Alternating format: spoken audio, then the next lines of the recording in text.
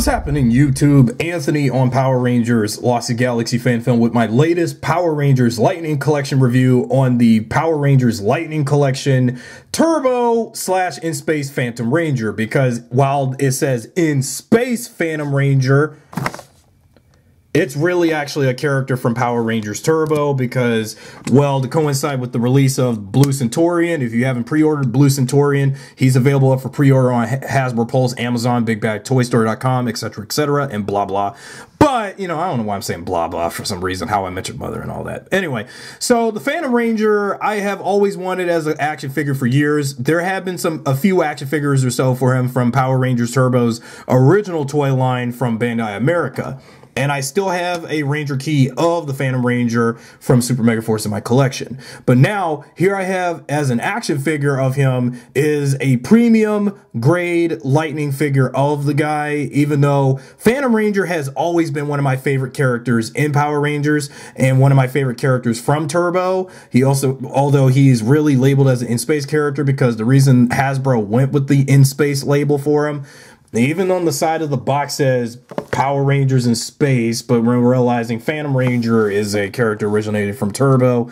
But since, well, given the notion from Hasbro and when they know about Turbo being a really very disliked season, but he was still the best thing that came out of that season for both Turbo and in space. Um, got this pre-owned for about 15 bucks on Amazon, but I, of course you can get it well for whatever the price he's available for mainly. But I had to get him for cheap because I was running low on money anyway, so I had to get him for a quick but for a quick 15 bucks because while it's in pre pre-used condition, it, it's still probably a still good looking figure. I just hope it's not as loose as any of my other six Ranger figures I only have so far. But anyway, let's get on with the Phantom Ranger. Okay, so now that we got the Phantom Ranger out of the box, let's take a look at a few of his accessories. Like usual, back to looking at interchangeable hands because I'm always doing that the first thing off. Yeah, interchangeable hands are all ball fists and nothing more. You can also use these bald black fists for any other character with a black with some black gloves on, like Magna Defender or anybody uh, in particular with the bald fist. I don't know if it can fit for any of the female characters wearing black like Astronema or any of the female Psycho Rangers, but these are a good pair of black fists that you can use, but it's really mainly from the Phantom Rangers release. But yeah, they're also a good pair of hands in case if I, you know, lose any of the hands that are from the main figure itself. For the lightning effect pieces, this comes, whoops, I get, I've been dropping this piece a lot. This little red lightning effect, piece comes from his his blaster. I don't know what it's really called because I hardly ever see the Phantom Ranger with this thing during Turbo, while it is a good decent lightning effect piece because the, this is the first effect piece that will come from when the Phantom Ranger is shooting his gun. Just like also what I've noticed from the Power Rangers Legacy War game where the Phantom Ranger had this effect, but I don't think this effect could work with when plugging this to like where his Ruby is. Let's take a look how it looks. No, I don't think the peg could go into the wait yeah it can. Like if he was taking a good you know a shot to the chest like where his ruby is you can get that effect piece going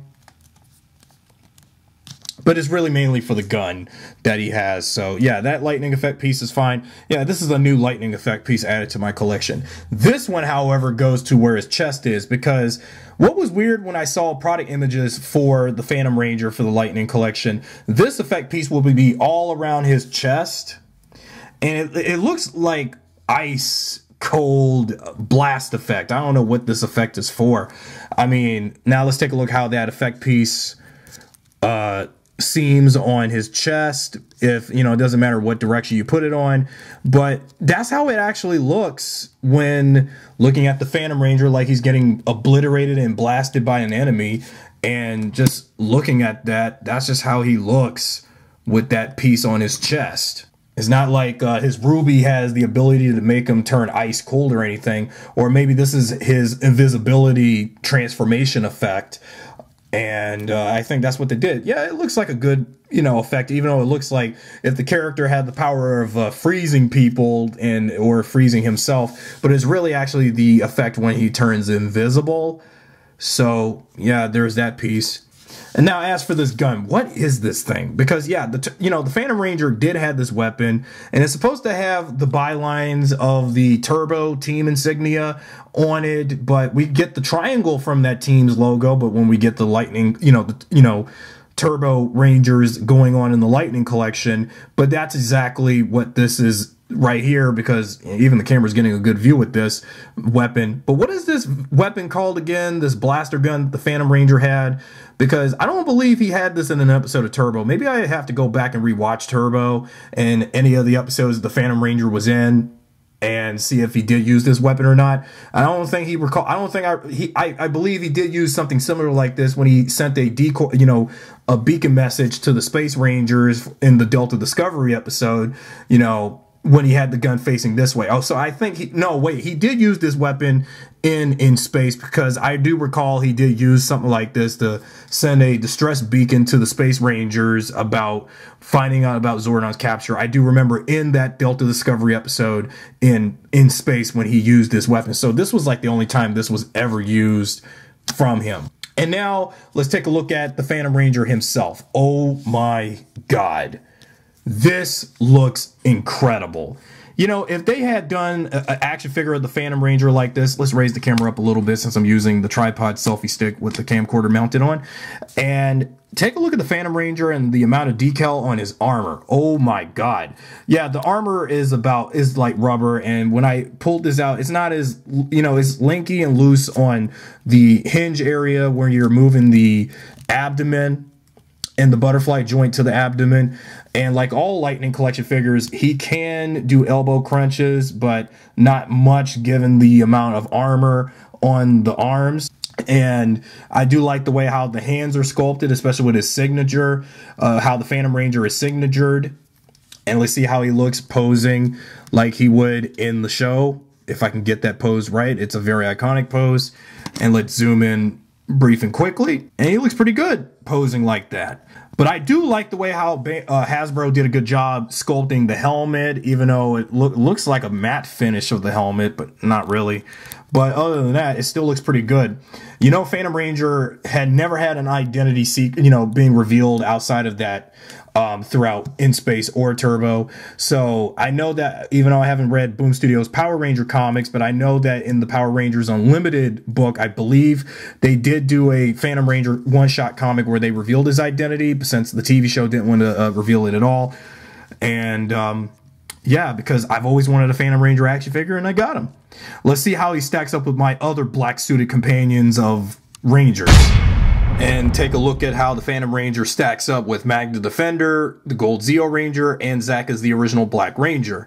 Well, since I got about like four Black Rangers, even though, yeah, the Gold Ranger is kind of a Black Ranger, but he's really a Gold Ranger, but he still counts. But yeah, all that black. And uh, I, I, forgot to bring out SPD Shadow, but oh well.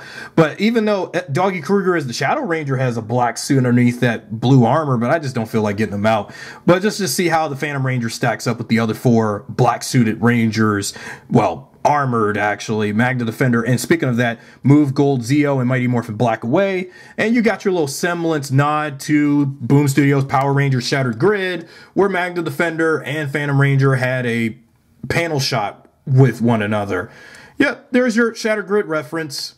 If only if I could recreate that image of them talking and see how they don't really uh, take their helmets off. You know what's really crazy when you think about this? Now that I have the Phantom Ranger, one of my favorite characters in Power Rangers, you see how it's so familiar to me as both a Power Rangers and Halo fan.